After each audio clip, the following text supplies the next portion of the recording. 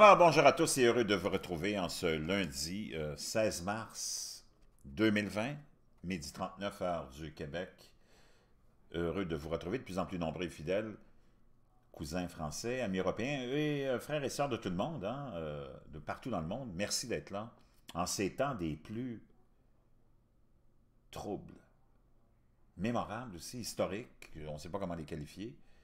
Personne n'a jamais vécu ce qu'on vit en ce moment. Je vous l'avais dit, à plein niveau, il n'y a personne qui n'a jamais vécu ce qu'on vit en ce moment depuis un bout de temps. Hein, que ce soit au niveau des communications, au niveau des ondes, un peu partout dans le monde avec les euh, Wi-Fi, les, les ondes qui se promènent partout, les changements qu'on va vivre. Je l'ai dit, on vivrait des changements incroyables. La crise actuelle va amener des changements majeurs dans nos vies. On ne reviendra plus jamais à ce qu'on était il y a une semaine ou une semaine et demie. C'est comme les événements du 9 septembre 2011, 2001, euh, pardon, hein, ces fameuses attaques contre les tours. Ça a changé la vie de tout le monde. Ça a changé la façon de voyager de tout le monde, la façon de vivre, la façon d'être espionné, la façon d'être euh, surveillé. Hein, ces événements-là, vous pouvez le constater, vous pouvez euh, sûrement l'admettre, comme moi, ont changé nos vies, puis on n'est jamais revenu à ce qu'on était avant le 9 septembre 2001. Ben, ce qu'on vit en ce moment, tu reverras jamais la vie que tu avais avant non plus. Tu peux dire adieu à la vie que tu avais.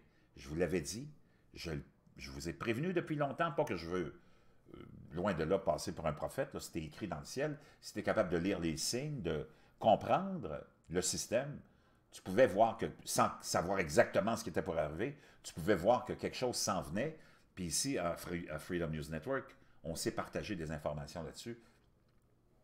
Et ceux qui peuvent aller voir ma vidéographie, vous allez voir les dates.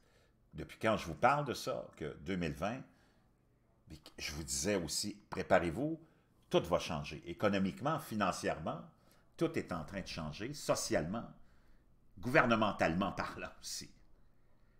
Je ne suis pas certain que les gens vont reprendre confiance. Et combien de temps ça va reprendre si jamais ils reprennent confiance dans juste le fait de pouvoir être à un mètre ou un mètre et demi de quelqu'un?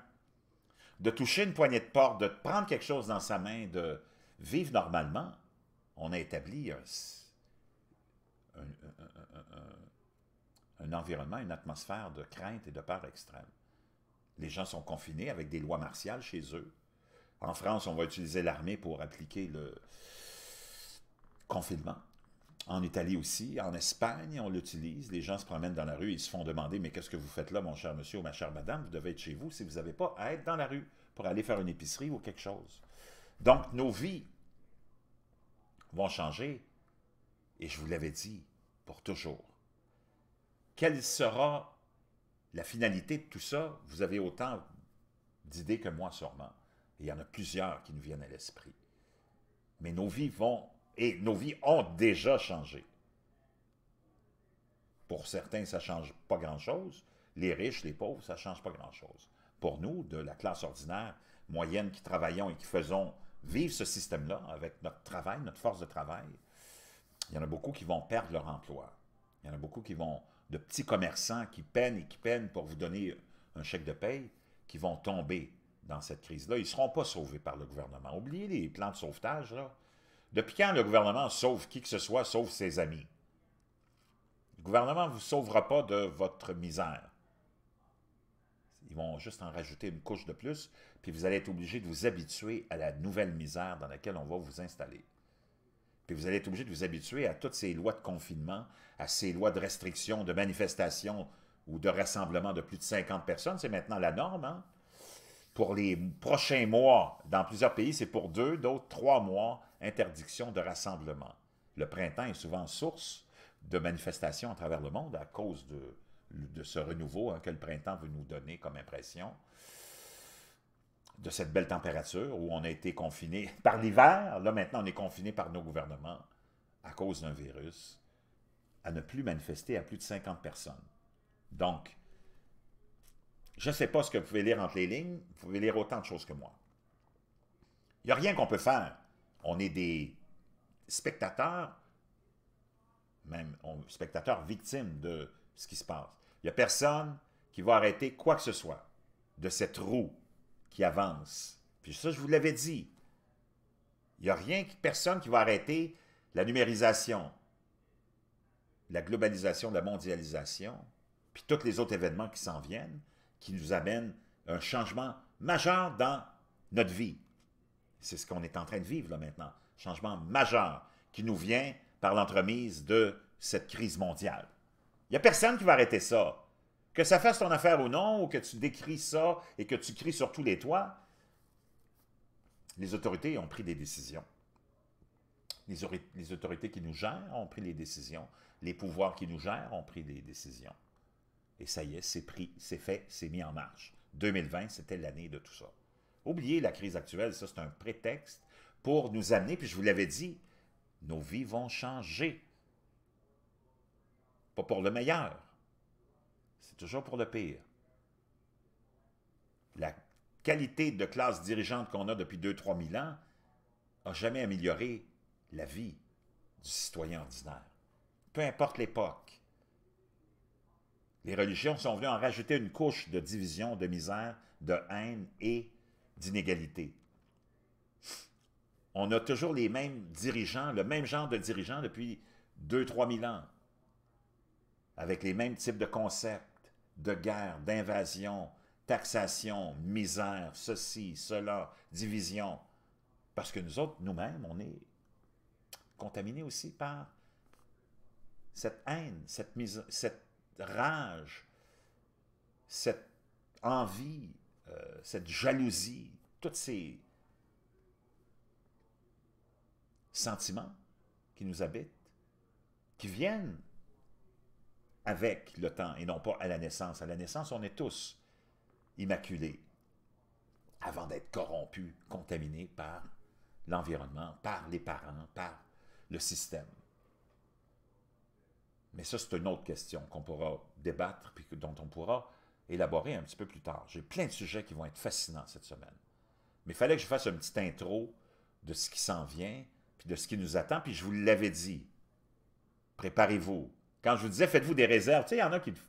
Je disais ça souvent hein, dans toutes mes vidéos, faites-vous des réserves, attendez-vous au pire. Bien là, je peux te dire une chose.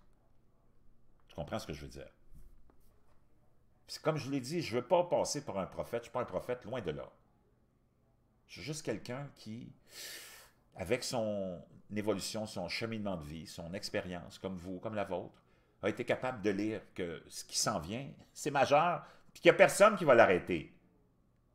Moi, j'ai compris ça parce que j'ai tellement, tellement, tellement, tellement essayé de chemin, testé de choses. j'ai été un des seuls à être pro-Trump en 2015 parce que j'ai pensé qu'il était pour faire. Imagine-toi, mais je n'ai essayé, je n'ai expérimenté des choses.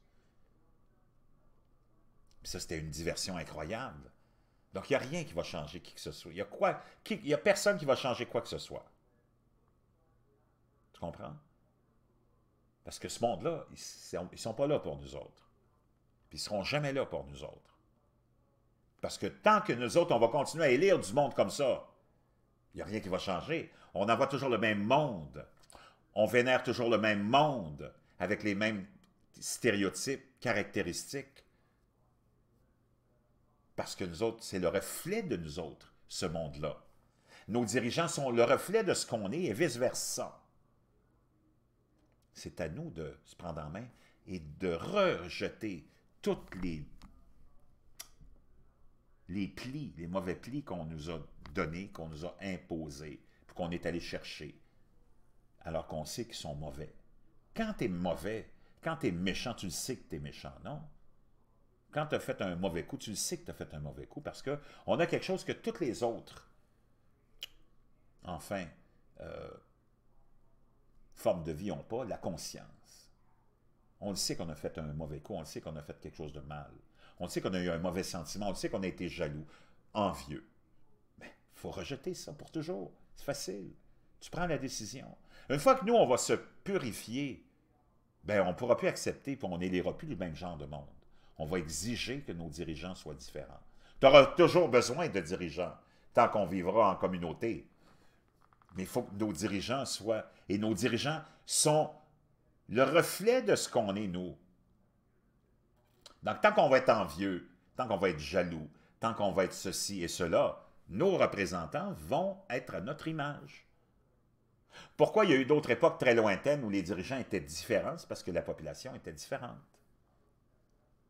Si tu t'en vas dans une communauté très, très, très euh, simplistique comme, euh, par exemple, une communauté de moines tibétains, ben, il y a quelqu'un qui est en charge de ça, mais cette personne en charge-là, il est le reflet de tous les autres moines, donc il y a une harmonie. Ça va bien. Si les moines changeaient et devenaient quelque chose d'autre dans une autre vision, ben, le dirigeant de cette communauté-là ou le représentant changerait. Mais jusqu'à présent, non. Donc, c'est certain que nous, si tu te retrouves avec un Trump, un Macron, un Legault, un René Lévesque, un ceci, puis tu t'en vas dans toute l'histoire des 2000, 3000 dernières années, c'est tout le même genre de représentants qu'on a. Ils ont juste changé d'habit, puis d'événements, mais ils ont toutes la même motivation, puis les mêmes caractéristiques. C'est notre reflet à nous. Tant que nous, on ne change pas, on va toujours envoyer le même genre de signal à cette classe dirigeante-là. C'est comme le cinéma. T'en as qui essaient de mettre un film à, l'affiche avec d'autres valeurs que celles qui sont ancrées dans l'ensemble de la population. Ben, c'est des flops commerciaux parce qu'il n'y a personne qui s'intéresse à ça. Si tu veux faire de l'argent au cinéma, il faut que tu aies des films qui contiennent de la drogue, du sexe, de la violence, de la vulgarité, de l'envie, du criage, de la jalousie, des chicanes, des conflits des guerres. Là, tu vas attirer du monde. Donc, viens pas blâmer le cinéaste si vous êtes des millions à aller vous mettre en ligne pour aller voir un film qui a des valeurs comme ça. Comprends-tu ce que je veux dire? Si on écoute de la musique insignifiante, parce qu'on a des artistes insignifiants, c'est parce qu'il y a une demande d'insignifiante de la population qui veut écouter de la musique insignifiante si on n'écoutait pas cette musique-là, si on n'allait pas voir ces films-là, les, réalisateurs seraient dans l'obligation de nous donner d'autres choses qui correspondraient à ce qu'on veut et nos attentes. Donc, ces gens-là aussi sont le reflet de ce qu'on est, nous, et vice-versa. Est-ce qu'on a été, c'est comme l'œuf et la poule, c'est qui qui est venu en premier, je ne sais pas. Est-ce que c'est nous autres, les insignifiants, qui demandons ça, ou c'est eux autres qui nous ont rendus insignifiants en nous donnant ça? Je ne le sais pas. Mais le constat, c'est le même. Le résultat, c'est le même. Donc, tant qu'on n'exigera pas de nos dirigeants autre chose, il n'y arrivera rien. Puis pour comment on peut exiger quelque chose de différent si nous autres, on n'a pas changé, on est les mêmes, haineux, jaloux, envieux, violents, ceci et cela. Comprenez-vous? C'est cette direction-là qu'on va prendre, qu'on va essayer d'explorer de plus en plus.